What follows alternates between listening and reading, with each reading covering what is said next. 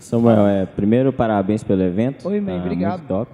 Então, é, você falou sobre a questão de ficar ter um estoque de podcasts e eu tento fazer isso com imagens no Instagram, Legal. com a minha conta. Eu queria saber se você faz isso e como que você faz, no caso se fizer, quanto tempo você gosta de ficar à frente, e tudo, e interligando uma pergunta com a outra, se você usa alguma ferramenta de automação, Legal. como lidar com shadow ban, se, no caso, essa é a minha, minha pergunta. Tá bom. Bom, primeira pergunta aí sobre estoque, né? Quanto mais, melhor. Porque assim, pra mim, como que funciona? Normalmente, quando eu tenho o... Quando eu chego em cima da hora, falo, e agora, o que, que eu vou postar? Sempre não sai tão bom.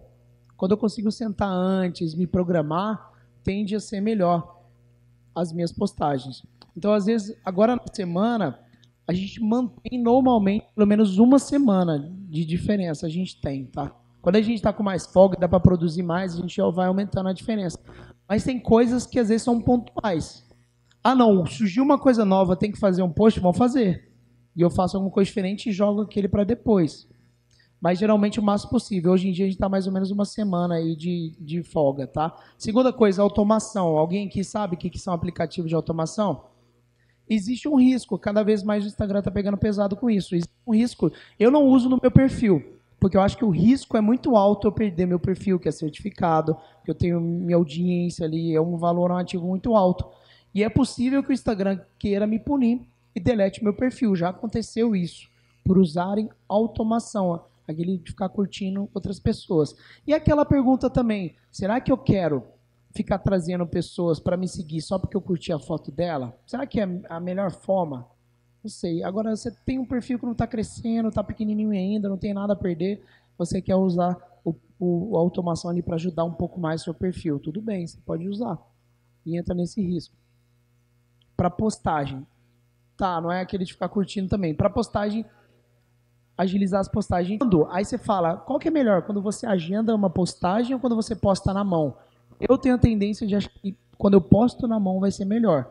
Mas quando a gente pegou um perfil, esse perfil que eu peguei de 300 mil, comprei um perfil, tava com 300 mil na época, chama Motivação em Frases.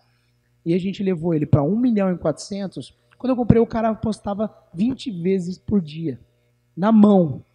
E ele falou, Samuel, eu posto 20 vezes por dia. Além de eu comprar o perfil dele, porque eu achava que ele estava perfumando.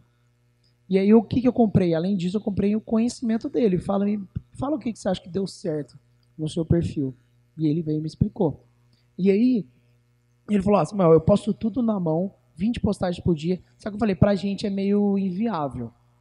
Pra gente vai ser meio inviável postar 20 vezes por dia. A galera trabalha horário comercial no escritório e tudo mais.